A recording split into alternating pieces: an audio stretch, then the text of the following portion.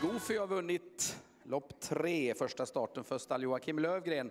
Sara Fagerberg heter segerkusken som är på väg till eh, vinnarcirkeln efter den här segern. Ska du få lite blommor och där också? Sara? Tack så mycket. Så där, grattis! Tack så jättemycket. Och du som stod stenslagen ut där på upploppet. Ja, alltså i sista kurvan där så började han ju tappa traven lite. Jag kände jag får ju bara hålla och försöka, försöka rycka huvan på in på upploppet och försöka kontra och det lyckades vi ju bra med.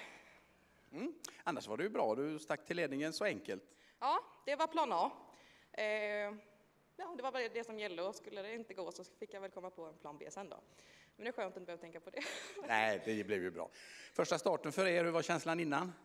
Eh, jo, men det har varit bra på förhand. Eh, han har ju tränat bra hemma.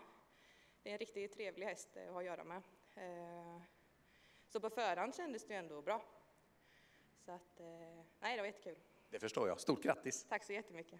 Sara Fagerberg, segerkusk. Millis Goofy, tränad av Joakim Lögren, plockar hem lopp tre, fastighet och uthyrning by Sköna Bäck.